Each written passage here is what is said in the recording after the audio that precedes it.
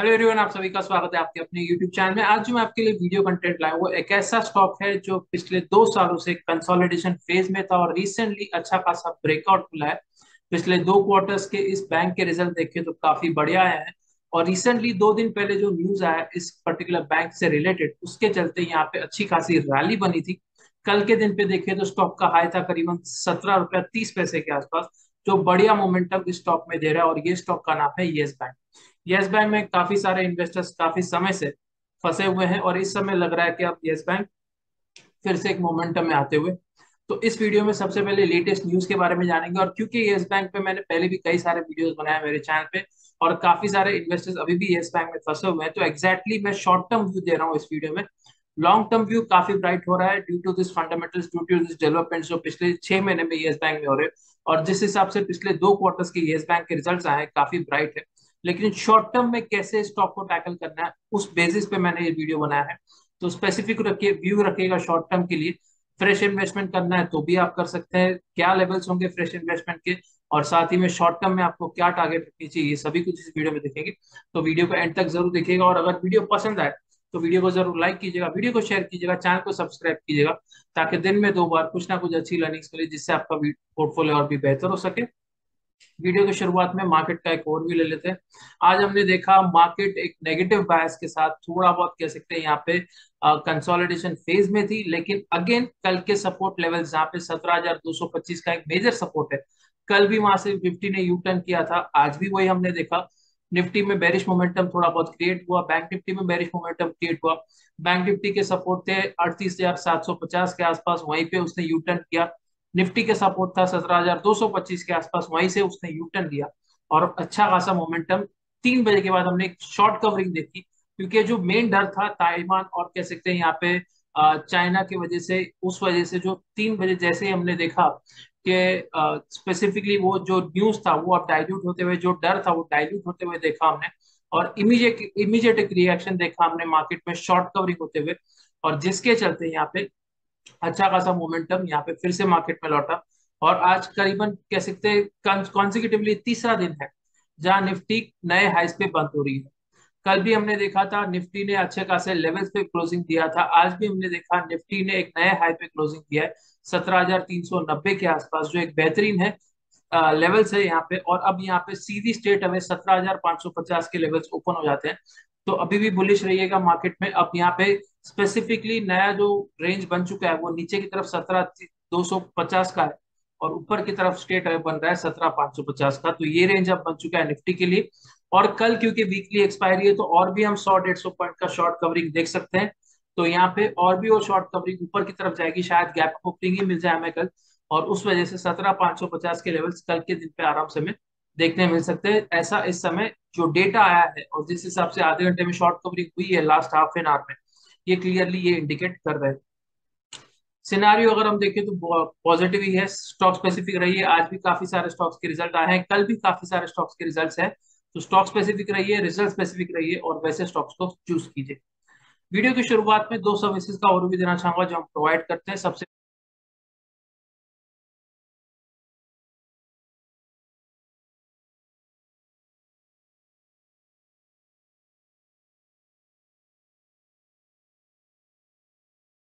Every Saturday YouTube live में जुड़ जाइए दोपहर को तीन बजे स्पेसिफिकली तीन से पौने चार के बीच में ये लाइव सेशन कंडक्ट होता है। इस सैटरडे में कंडक्ट नहीं कर पाया था ड्यू टू सम रीजंस लेकिन आने वाले सैटरडे यानी सिक्स अगस्त को मैं कंडक्ट करूँगा यूट्यूब लाइव दोपहर को तीन बजे लाइव में जुड़ जाइए फोर्टी फाइव मिनट्स का सेशन होगा।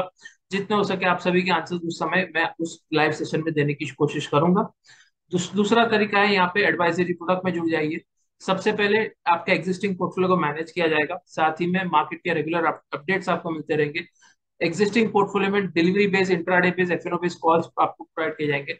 बैंक निफ्टी निफ्टी के ऑप्शंस के आपको कॉल प्रोवाइड किए जाएँगे और साथ ही में मार्केट आज हमारे साथ फ़ोन के थ्रू कॉन्टैक्ट में रह सकते हैं। तो जितनी जल्दी हो सके एडवाइजरी प्रोडक्ट में जुड़ जाइए, साथ ही में यूट्यूब लाइव में जुड़िए। डबल बेनिफिट के साथ अपने पोर्टफोलियो को और भी बेहतर बनाइए। तो चलिए वीडियो की शुरुआत करते हैं, जानते हैं यहाँ सबसे पहले येस बैंक के लेटेस्ट न्यूज़ के बारे में। और साथ ही में अब स्पेसिफिकली मैं पहले भी पहले भी मैंने कहा था वीडियो की शुरुआत में अभी ये चीज़ को रिपीट कर रहा हूँ कि मेरा इस पर्टिकुलर स्टॉक में इस समय purely short term short term view के हिसाब से मैंने इस आ, वीडियो को आज बनाया है कि शॉर्ट टर्म में येस बैंक में आपको कैसे अपने इन्वेस्टमेंट्स को टैकल करना है कैसे स्पेसिफिकली येस बैंक में फ्रेश इन्वेस्टमेंट अगर करना है तो कौन से लेवल्स पे आपका इन्वेस्टमेंट होना चाहिए शॉर्ट टर्म में। और अगर आपका medium to long term investment है तो क्या लेवल्स पे आपको medium to long term invest करना चाहिए? ये सभी कुछ इस वीडियो में देखेंगे तो वीडियो को एंड तक ज़रूर देखेगा जैसे मैंने कहा स्पेसिफिकली शॉर्ट टर्म के लिए एक बढ़िया मौका है क्योंकि येस बैंक में काफ़ी समय के बाद मोमेंटम बना है और इस मोमेंटम को आगे भी कैसे कंटिन्यू करना है कौन से लेवल्स पे आपको एग्जिट करना है कौन से लेवल्स पे यहाँ पे पार्शियल प्रॉफिट करना है ये सभी कुछ इस वीडियो में देखेंगे तो वीडियो को एंड तक ज़रूर देखिएगा। तो चलिए वीडियो की शुरुआत करते हैं। सबसे सम, पहले समझ लेते हैं यहाँ पे येस बैंक के बारे में। स्पेसिफिकली जो रिसेंट जो डेवलपमेंट हुआ है पिछले दो दिनों में येस बैंक में उससे इस पर्टिकुलर बैंक का जो फंडामेंटल था जो काफ़ी समय से कह सकते हैं नेगेटिव बायस में था या फिर एक कह सकते ट्रेडर्स और इन्वेस्टर्स के रेडार पे ये स्टॉक कम था। आ, क्योंकि इस पर्टिकुलर जो बैंक के फंडामेंटल थे वो काफ़ी कह सकते हैं पिछले दो सालों में ड्यू टू एनपीएस यहाँ पे नॉन परफॉर्मिंग एसेट्स की वजह से ये जो मोमेंटम था येस बैंक में वो मोमेंटम बिल्कुल नहीं आ रहा था।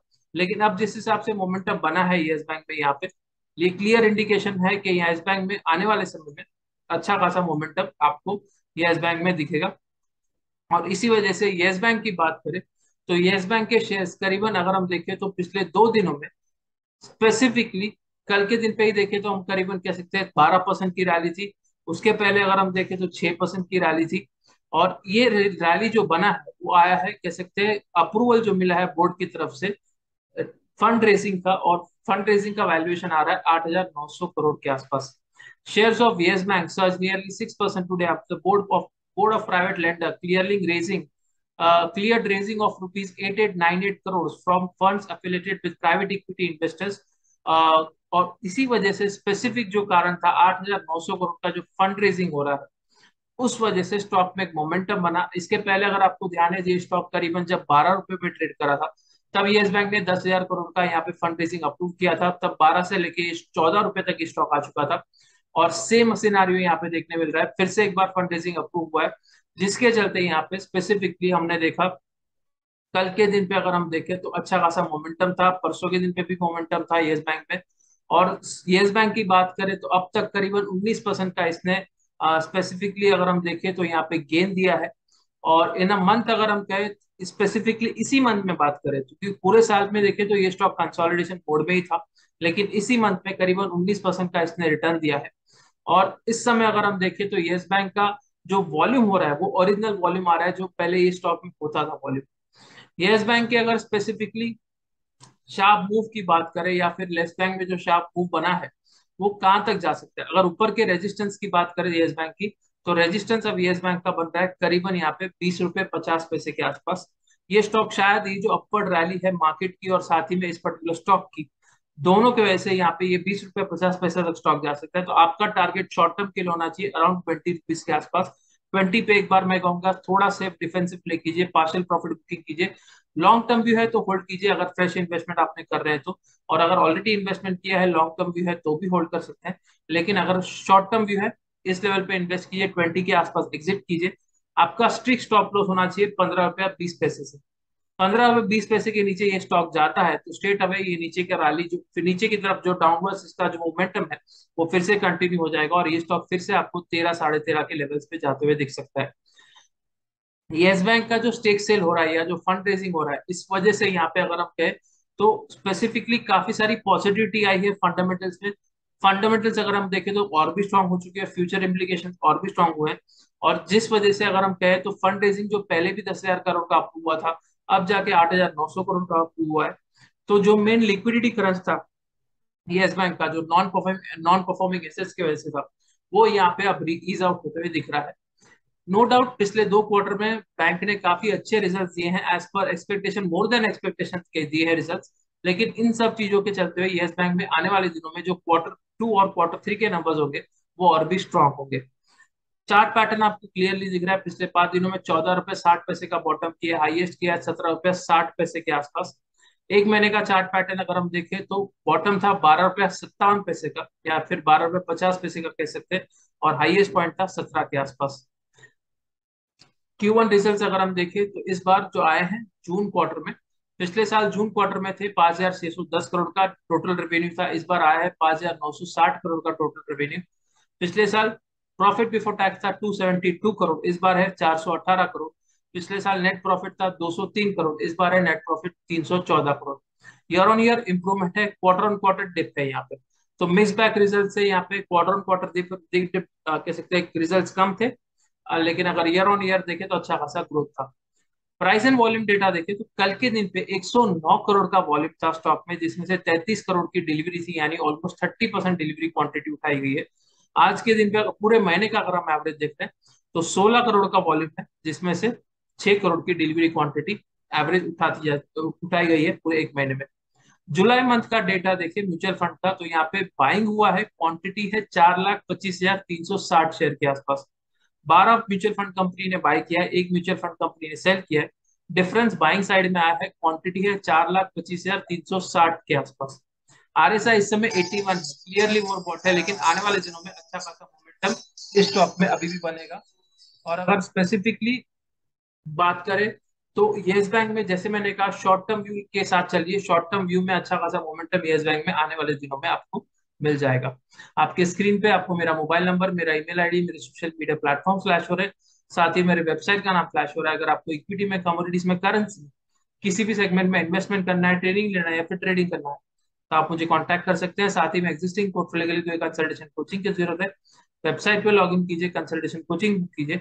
एग्जैक्टली exactly आपको आपके हर एक प्रॉब्लम का उस कंसल्टेशन कोचिंग में सोल्यूशन मिल जाएगा। Thank you